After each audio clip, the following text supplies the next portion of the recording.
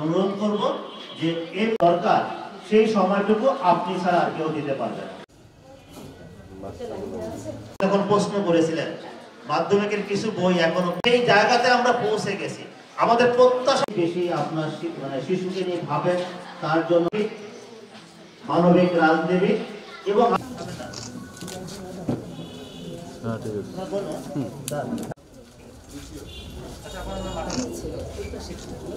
বুঝব অনেক কিছু। বইগুলো নিয়ে কি করবে তুমি? পড়াশুনো করব পড়ব বুঝব অনেক কিছু হবে বই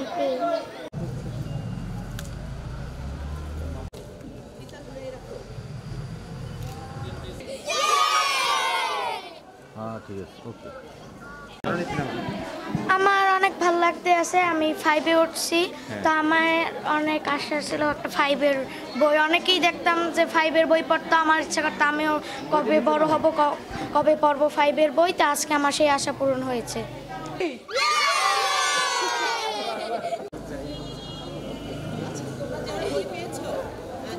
উপকারী হবে। যে বইটা আমরা ঘরে বই বাচ্চাকে পড়াইতে পারব তারপরে এই মোবাইলের মাধ্যমে অনলাইনের মাধ্যমে যে পরীক্ষাটা নেবে এটাই তো অনেকটা আগাই গেছি আমরা।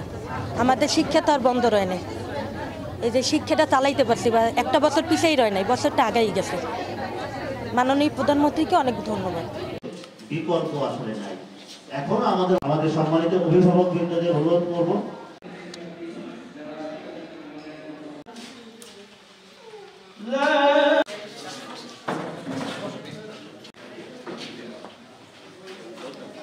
আমাদের জেলার মোট স্টুডেন্ট হলো দুই দুই লাখ বত্রিশ হাজারের স্টুডেন্ট। বত্রিশ হাজারের মতো আমাদের মোট বই প্রাপ্তি হলো প্রায় তেরো লাখ।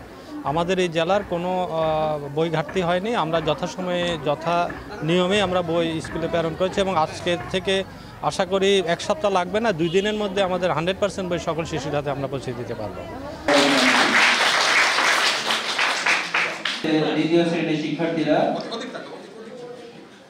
বই বিতরণে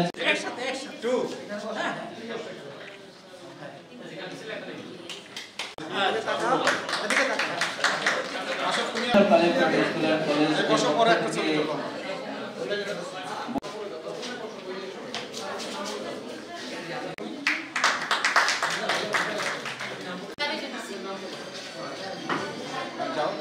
আপনারা জানেন, এবছর আমরা কিন্তু আনুষ্ঠানিক বই উৎসব করছি না বাট বই বিতরণ কার্যক্রম কিন্তু আছে, যেটি গত এক দশক ধরে মাননীয় প্রধানমন্ত্রী বিশ্বের সবথেকে বড় বিনিয়োগ মনে করি শিশুদের জন্য বা শিক্ষার জন্য বিনিয়োগ।